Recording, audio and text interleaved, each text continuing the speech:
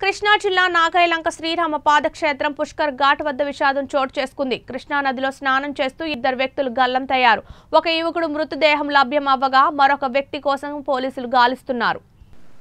ఇద్దరు యువకులు రెడ్ కార్లో వచ్చి ఘాట్ వద్ద స్నానాలకు దిగినట్లు స్థానికులు చెబుతున్నారు. మృతులు మావూరి దుర్గా ప్రసాద్ పశ్చిమ గోదావరి జిల్లా ఏలూరుగా గుర్తింపు.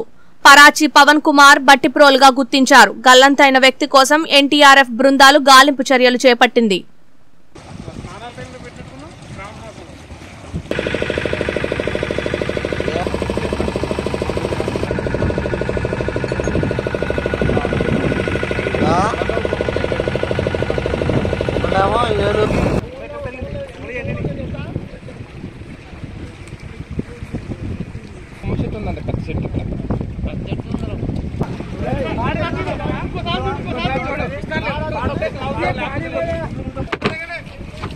చెట్టు ఇక్కడ పట్టుకోండి.